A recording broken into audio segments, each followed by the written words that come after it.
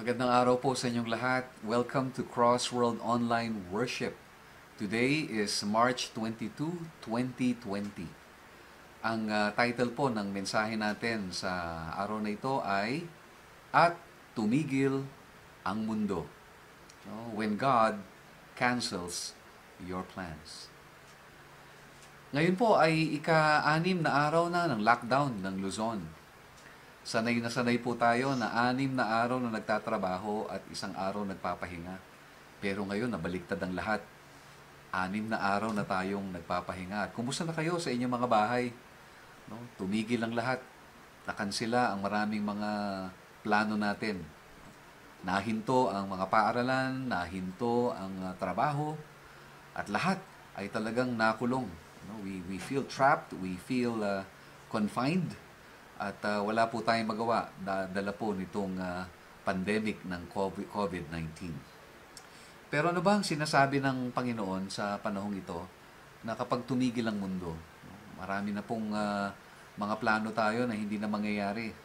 No, mga graduation na hindi na siguro sa bahay-bahay na lang dadali ng mga diploma. Yun pong mga summer uh, plans natin. Gaya po sa Crossworld, hindi na po matutuloy yung aming mission conference, hindi na rin matutuloy yung uh, sunrise service, baptism, and uh, we have a lot of plans that we laid out. Pero hindi na po mangyayari ang lahat ng ito. All canceled and all interrupted. At maraming kasal, maraming mga birthdays, maraming mga anniversaries na mukhang hindi na magkakaroon ng celebration. Kagaya po namin, dapat patungo kami ng Singapore but the event was canceled. Uh, buti na lang yung pong flight was uh, refunded, yung aming airfare. Uh, planning din, planning din namin pumunta ng Boracay pero hindi po na rin matutuloy. Pero we take it as from the Lord. No? We take it as from the Lord and um, tinitingnan po natin anong matututunan natin sa salita ng Diyos uh, sa mga bagay nito. If you have your Bibles with you, ay tingnan po natin ang sinasabi ng salita ng Panginoon. In James, no, chapter uh, uh, 1, verse 2, ito po ang sabi ng uh, ni Santiago, Dear brothers and sisters, when troubles come your way, consider it an opportunity for great joy. For you know that when your faith is tested, your endurance has a chance to grow. So let it grow, for when your endurance is fully developed, you will be perfect and complete, needing nothing. So ano pong tinuturo sa atin ng uh, mga karanasan natin ngayon, ano? Ayon kay James na kapatid ng ating Panginoong Yesus. There are five things that I want to share uh, today. Number one, tungkol po sa pandemic na, na ito, na COVID-19. Una sa lahat, hindi po ito bago. Hindi po ito bago. No, bagamat uh, kung titingnan natin ay uh, masyadong mabigat itong dinaranas natin. Pero in the past 100 years, we have uh, witnessed or uh, naranasan po ng mundo ang limang pandemics. No? Una po, noong 1918, yung Spanish flu. At uh, naranasan din natin ang bird flu, ang SARS, ang swine flu, at maging ang Ebola. Uh, at lahat ng ito took over 100 million lives no in the last 100 years. So ito po ay hindi bago. Po natin yung pagsubok. At kung tatanungin anong apelido natin, eh pwede nating sabihin ang apelido natin ay paghihirap or sufferings. No, yan ang sinabi ng Panginoon nakakaakibat ng krus na ating dinadala ay ang mga paghihirap na katulad nito. So anong sabi ni Santiago? Why do we need to consider them as uh, a gift from God. Because ang sabi niya, uh, struggles and the trials make us stronger. Ginagawa tayong matibay. No, sabi dito, it produces uh, perseverance. And perseverance, anong dinudulot ng per- perseverance? It it brings us to completion. No? It makes us mature and it completes us. Kaya kapag kami mga dumarating pong pagsubok sa ating buhay, let's embrace it. No, let's uh, welcome it. Because we were born for this. Tayo po ay itinalaga ng Panginoon para dumaan dito, hindi dahil galit ang Diyos sa atin, kundi dahil meron siyang nais magawa sa kalooban natin, sa buhay natin, at sa pamamagitan natin. Kaya sa halip po tayo ay uh, magmaktol, magpanik, no, let us rejoice whenever trials come our way. Pangalawa, una po, sabi ko, hindi ito bago. Pero pangalawa, hindi ito biro. Bakit hindi ito biro? Kasi mabigat po ito eh. Itong dinadanas natin, bagamat hindi ito bago sa atin, siguro sa lahat ng pandemic na naranasan ng buong mundo, ito yung pinakamatindi sa lahat. At kagaya din ng sabi ni Santiago sa James chapter 4, no, marami tayong mga plano pero hindi nangyayari. Marami tayong gustong mangyari, no, pero hindi naman maganap. Bakit? Merong ilang mga dahilan, no? In verse 1 and 2 ng chapter 4, ang sabi niya dito, relationships, ano, they don't work. Why? Because of quarrels, because of envy, because of jealousy. So minsan, na uh, bukod doon sa mga karamdamang at mga banta sa buhay natin, may mga relationships na hindi nagwo-work. Pangalawa, in 3, verse 3 to 5, binanggit din dito that some of our prayers are not being answered. So, syempre, kapag ka panalangin, meron tayong gustong mangyari sa buhay natin, meron tayong gusto ma-accomplish, may mga pangangailang gusto nating matugunan. Pero ang sabi sa verse 3 to 5, hindi sinasagot ng Panginoon ang ating panalangin. And, and this frustrates us. No? In verses 13 to 17, hindi lamang yung relationship that don't work or prayers that are never answered, but even plans that you know, are not pushing through. No? Plans that are canceled and interrupted. Why? Kasi ang sabi naman dito, because of our pride. So ito pong dinaranas natin ngayon at kasama pa ng ilang mga sufferings na atin pong uh, uh, dinadaanan sa araw-araw ng ating buhay ay talaga pong bahagi ng buhay natin at hindi naman natin ito pwedeng tawaran at sabihin natin na simple lang naman ito. No? Because some of our um, Filipino uh, uh, people, no? They're fighting for their lives. Meron pong mga medical uh, nasa front line na medical personnel tayo that who are now quarantined, yung iba intubated na, yung iba mga doktor ay talaga pong they're fighting for their lives because of severe pneumonia. Oh, in fact, uh, merong 150 medical personnel sa The Medical City na naka-quarantine ngayon. Dahil talagang, dahil nasa front line sila, mahahawa talaga. According to uh, DOH kahapon, 307 na sa Pilipinas ang infected. 90 na ang namamatay. No? At uh, 13 pa lang ang nakaka-recover. Kaya we need to really pray for this. No?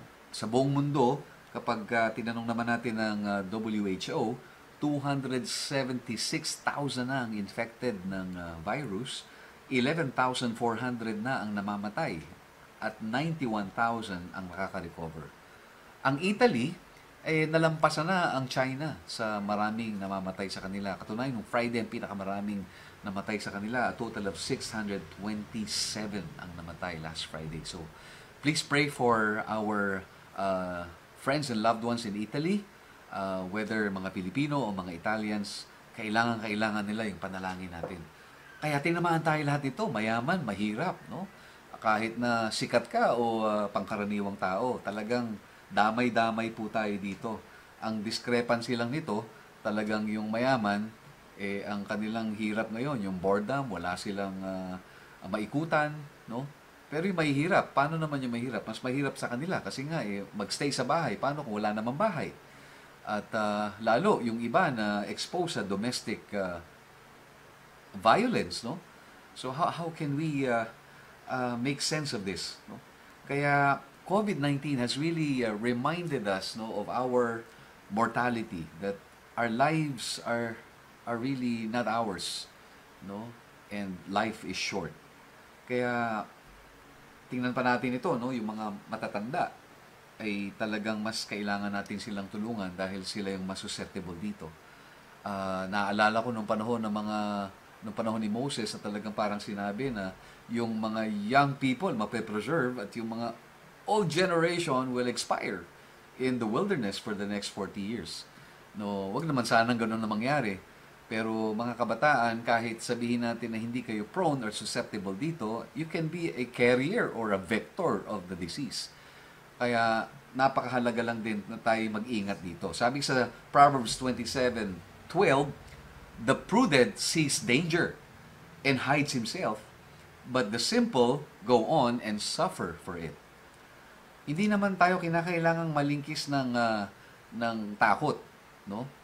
Pero wag naman tayong masyadong presumptuous uh, na dahil hindi tayo maapektuhan ito, hindi na tayo mag-iingat. We should not live in fear, but we must be prudent as well. At hindi lang buhay ang damay dito, pati ang kabuhayan. No, maraming apektado sa kabuhayan. No, kaya hindi biro talaga ito. Sa Singapore nga, yung SARS, ang sabi nila eh, uh, SARS has killed more businesses than people. Kaya this kind of pandemic has really affected the whole world. This is really widespread. Uh, walang ibang pandemic na nakapagpa-tigil sa NBA. No? Lagi nga sinasabi, New York is the city that never sleeps. Pero ngayon, tingnan mo yung streets ng New York, no? Eh, talagang wala kang makikitang tao. Uh, pinatigil ang Broadway, pinatigil nito ang uh, ang um, Caesars Palace, ang MGM sa Las Vegas, ang Tokyo Olympics. Kaya hindi ito simpleng problema. No? Hindi talaga ito biro. So una nakita natin, hindi ito bago, pero wag natin itong malitin sapagkat hindi ito biro. Ayun, ang mahalagang tanong natin, bakit ito nangyayari? Mahalagang sagutin natin yan. Nangyayari ito sapagkat, pangatlo, hindi tayo buo hindi tayo kompleto. Hindi tayo banal, hindi tayo sakdal na ayon sa nais ng Panginoon na makita sa atin. Marami tayong butas, marami tayong kadiliman, marami tayong kapangitan, marami tayong mali at marami tayong pagkakasala. Katunayan, malamang na ito'y palo ng Diyos, no? At madalas ang palo ang siya nagpapatino sa atin. Nakikilala natin ang ating kasalanan, ang ating karumihan, ang ating kahinaan, ang ating kadiliman, at ang ating pagiging makasarili in chapter 4 ng James, no, pinakita dito, bakit hindi nagwo-work ang relationships? Why? Because there is envy, there is jealousy. No? Hindi nagwo-work ito because of uh, our impure motives no? sa ating relationship. Masyado tayong makasirli. Kaya nag-aaway-away tayo at nauuwi ito sa pagpatay. So that's one of our darkness. Pangalawa, bakit yung prayers natin hindi nasasagot in verses 3 to 5? Why? So may mga prayers tayo, hindi nangyayari. Kina-cancel ng Lord. Why? Kasi nga, we, our prayers are, we're praying for the wrong things. And not only that, but we're praying with wrong motives. Just to feed our appetites. Lust and greed. Kaya ang sabi doon sa verse 5, no, don't you know that friendship with the world is becoming enemy with God. So ang lahat ng ito ay pagpapaalala at pagtapik sa atin ng Panginoon na, hey, there's something wrong with you and you need to be cleansed. No? And then, hindi lang relationship ang hindi nagwo-work, yung prayers na hindi sinasagot, but plans are being canceled. Why? Why are plans being canceled? Because we're proud. Madali sa ating sabihin, sabi nga dito, look here, in verse 13, who say, Today or tomorrow we're going to a certain town and we'll stay there a year. We will do business there and make a profit. Anong madalas nating sinasabi? Oh, ah, by age 18, I will be here. By age 25, I will be there. By age 30, life should look like this. Sounds familiar? Na parang lahat naka-layout na, talagang planadong-planado, planchadong-planchado, yung mga gusto nating gawin, pero anong ginawa ng Panginoon ngayon? God cancels everything. God interrupts our plans. No? At kung titingnan mo nga, for every 100 years, God shakes the world. Pandemic. Here and there. God interrupts our plans, God humbles us, God strips us. Why? Because He wants to purge us of all our evil desires. So bakit ini-interrupt ng Diyos ang ating mga plano?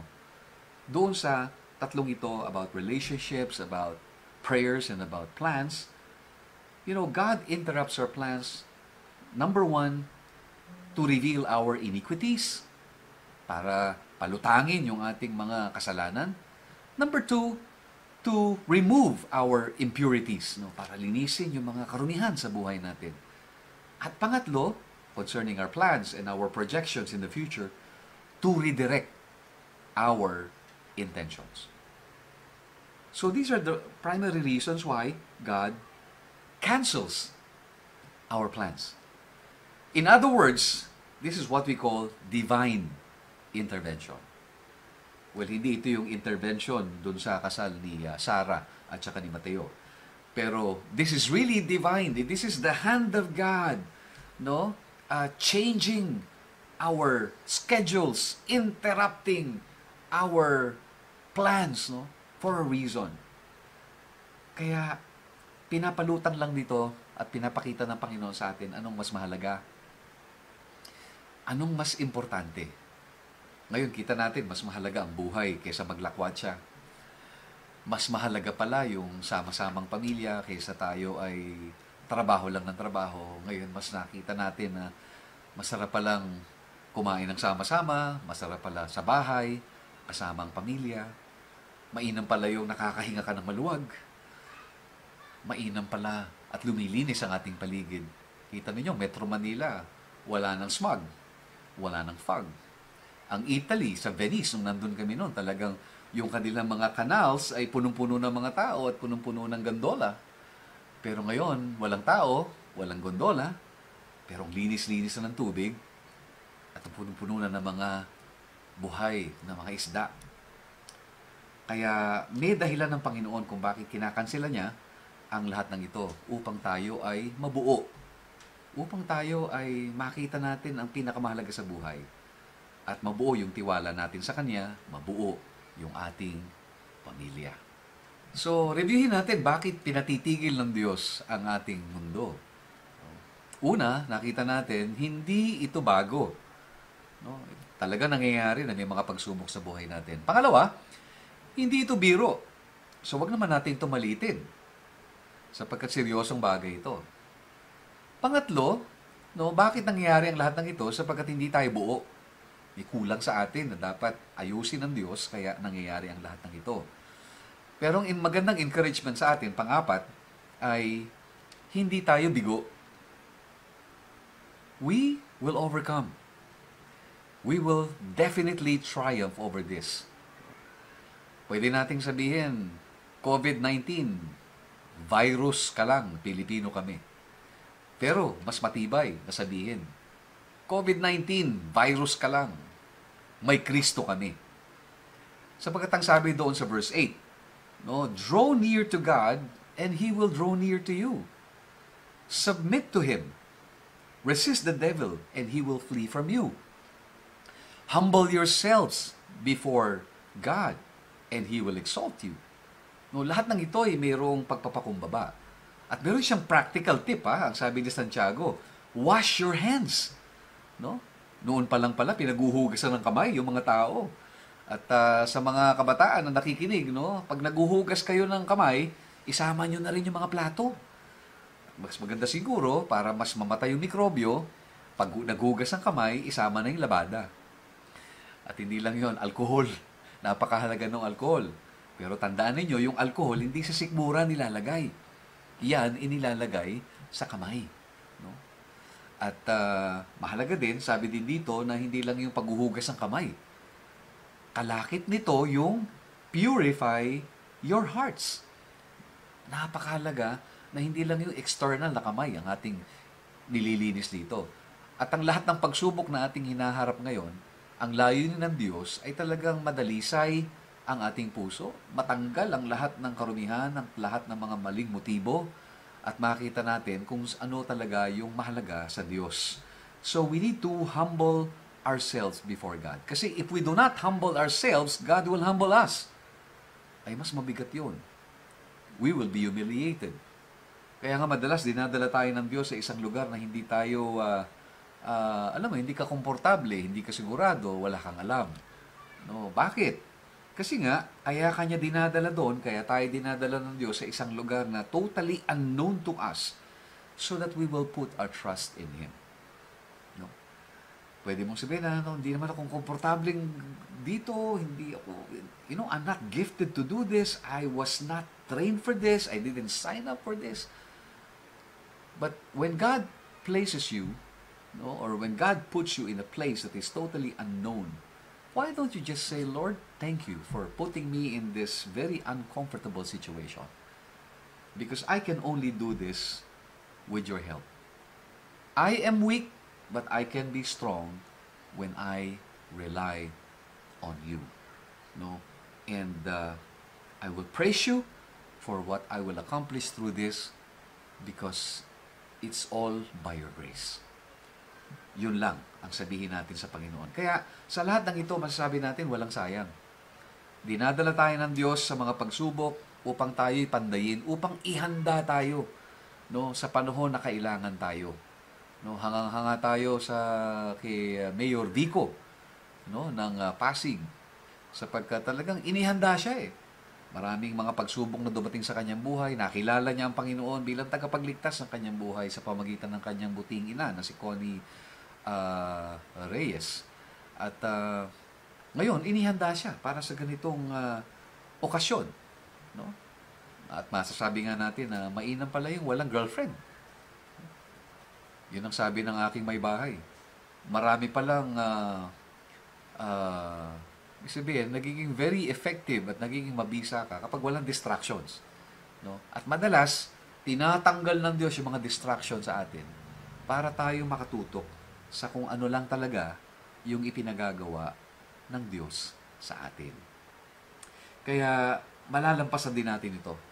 No? At uh, this can be the worst of times, but this can also be our finest moment. Naalala ko si Clara Barton. Nung panahon ng, uh, nagkaroon talaga ng panahon ng digmaan, nagkaroon ng smallpox, at siya nag-volunteer, at siya mismo ay nagkaroon ng uh, smallpox. Nagkasakit din siya. Pero nagpatuloy siya sa pagtulong sa mga sundalo at kung sino-sino pa.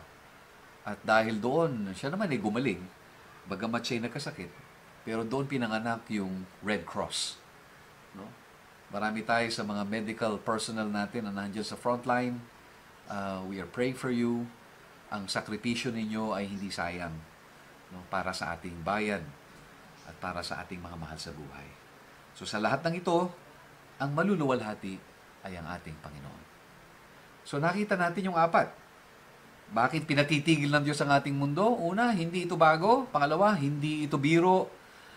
Pangatlo, bakit nangyayari ito? Dahil hindi tayo buo, kailangan pa tayong buuin ng Diyos. Pang-apat, hindi tayo bigo. Kaya natin ito sa tulong ng Panginoon. Lilipas ang virus, pero tayo mananatili sa biyaya ng Diyos. Panglima, no? Isang mahalagang paalaala sa atin na hindi tayo dito. This is not our home hindi tayo taga rito. Kaharap natin ang ating mortality. No? Kaharap din natin yung katotohanan na we are not really in control. We, we are not really in control and we won't live forever.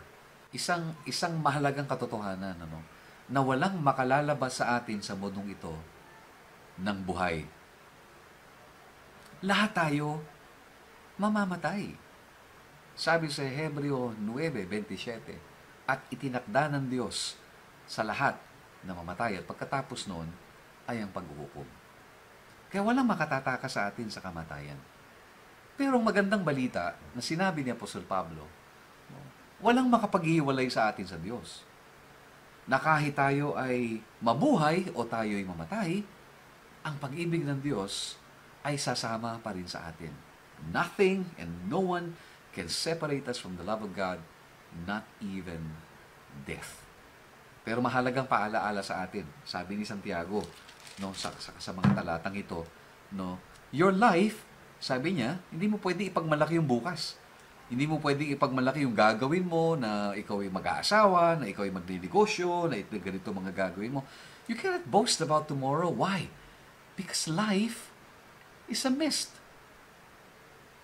Ano ba yung mist? Well, parang ganito yan. No? Ang buhay daw natin ay kagaya ng isang mist. Nakita niyo ba yon? Ang bilis lang, di ba? Kapag nga napikit ka, nawala na, hindi mo na nakita. Ang buhay daw natin ay kagaya lamang ng singaw. Kaya mahaba man ang ating buhay, maikli man ang ating buhay, no? Eh, ang katotohanan nun, life is short. So we cannot boast about tomorrow. It's good to have goals. No? Magandang magplano magandang magkaroon ka ng 10-year plan, magkaroon ka ng 5-year ah, plan or 1-year plan or 1 month o kaya bukas anong gagawin ko. But how do you react when God steps in and rearranges your schedule? O masyadong nakakahon tayo at masyadong naka masyadong mahigpit yung hawak natin sa ating buhay at sa ating plano. Medyo luwagan natin ang ating hawak at hayaan natin ng Diyos ang siyang magtimon at minsan makialam sa ating buhay. So life is short no matter how many years we live. Don't even think that we have lots of remaining time to live for Christ, to enjoy our loved ones, or to do what you know you should. Live for God. Live for God. Para kahit anong oras katawagin ng Panginoon, you can say, I have fulfilled what He has called me to do. Sa Facebook nga, usong-uso ngayon yung Facebook challenge na My name is Al, and until the good Lord calls me away from this world to His kingdom, I want to make it clear that I believe in Jesus Christ as the true Lord and Savior. Wow, para bang nagpapaalam na, no? Pero totoo lang, talagang nakakapangamba at nakakapanlumo sapagkat anytime pwede tayong kuhanin ng Panginoon. Handa ka na ba kapag ikaw ay kinuha ng Panginoon? Alam mo ba kung saan ka paroroon pagka ikaw ay namatay? Si Jesus ang daan. Si Jesus ang katotohanan. Siya ang buhay. Na sa mundong ito walang katiyakan, pero kung siya'y tatanggapin mo sa iyong puso bilang tagapagligtas, meron kang katiyakan ng buhay na walang hanggan siya ay namatay sa krus ng Kalbaryo upang bayaran ang ating pagkakasala. Ang kanyang dugo ay sapat upang hugasan ang ating karumihan at upang ibalik tayo sa landas ng buhay, sa landas ng pagpapala.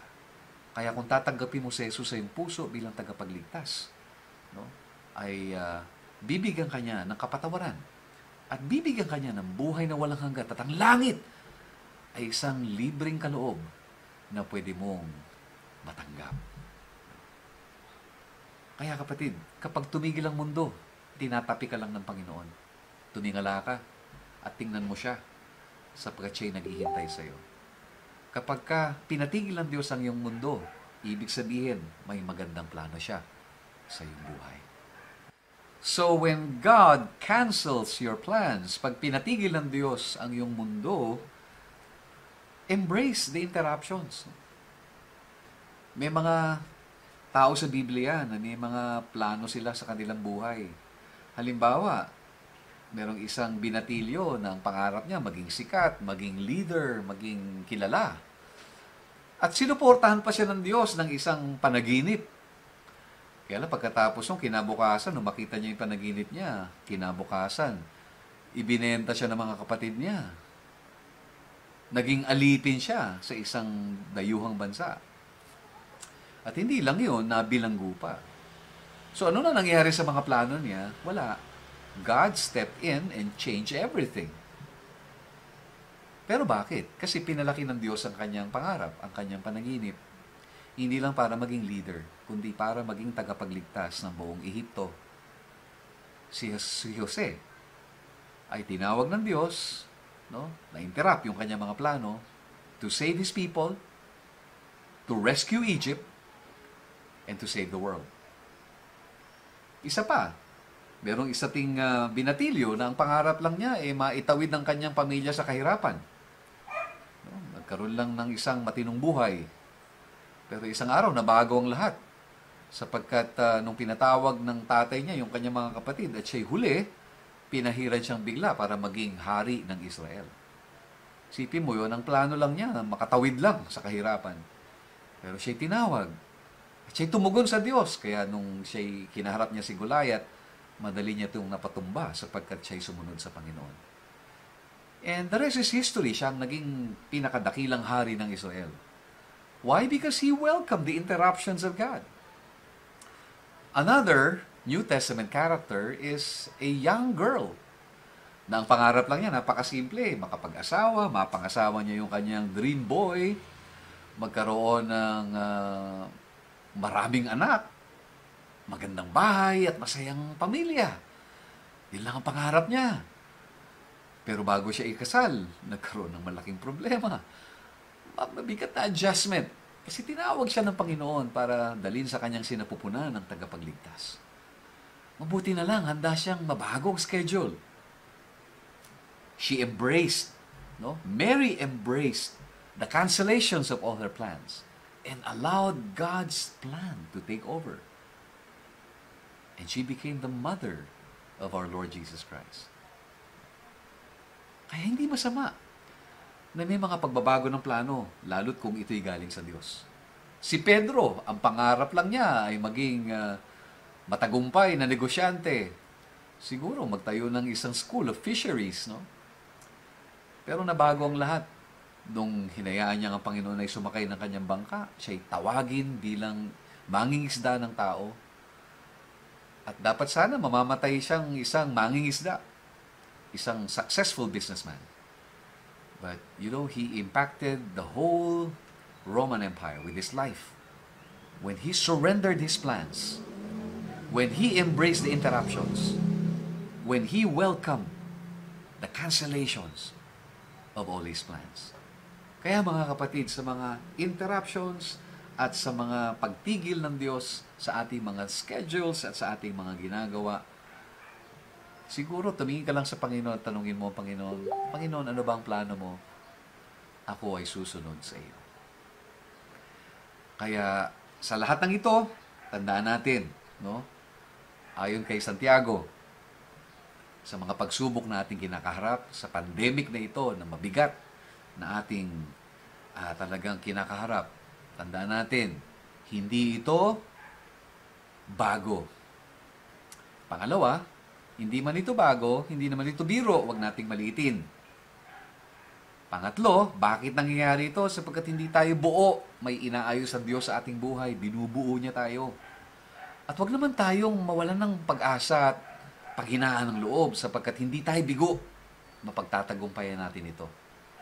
At huwag nating kakalimutan ang isang napakahalagang katotohanan. Hindi tayo dito. Hindi tayo taga rito. This is not our home. And we must prepare for our true home. Ang buhay natin ay paghahanda sa totoong buhay. At huwag nating kakalimutan that the safest place on earth is not a place, but a person. Let Jesus come into your life. Let Him make you whole and make, let Him give you hope and joy and peace. Sapagkat tanging si Jesus lang ang siyang makabubuo sa atin. At kung isusuko natin ang ating buhay sa Kanya, bubuin niya tayo at gagamitin niya tayo para sa kanyang kapurihan. Pagpalain tayo ng Panginoon sa mensahe ng Diyos. At uh, next week ay uh, magkita-kita uli tayo uh, sa ganitong uh, oras din no sa Crossworld uh, uh, page. At ang topic naman natin next week ay bawal ang judgmental. God bless you.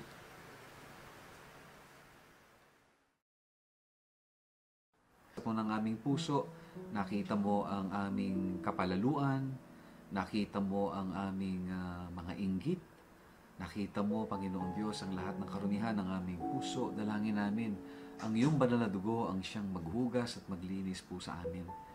At ah, Lord, aming isinusuko sa iyo ang aming mga sarili.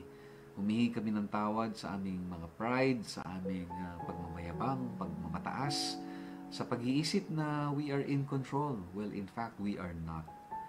Panginoon, kami ngayon ay susunod sa iyo kung saan mo man dadali ng aming bansa. Kung ano man ang nais mong ipagawa sa amin, Lord, kami po ay susunod. At ah, sama-sama po namin idinudulog sa iyo, Panginoon. Una sa lahat, yung pong mga ah, dalubhasa na naghahanap ng solusyon para po sa COVID-19. We pray, Father, for the scientists ah, to finally come up with a vaccine, Panginoon, upang makalunas ito sa maraming may karamdaman. Ah, dalangin din po namin, Panginoon, ng mga ah, health ah, ah, frontliners, Panginoon, mga medical personnel. Ah, pangalagaan mo po ang aming mga doktor, mga medical technologists, ang aming pong mga nurses, at lahat po nang nandun sa ospital. Panginoon, sila po ay exposed na exposed sa mga ah, karamdamang ito. Dalangin namin ang pangangalaga mo po sa kanila. Panginoon, dalangin din po namin ang mga may sakit ah, na kahabagan mo po, Panginoon. We pray, Father, that you will extend their lives. And we cancel the spirit of untimely death sa aming mga kababayan na ngayon po ay infected with the virus.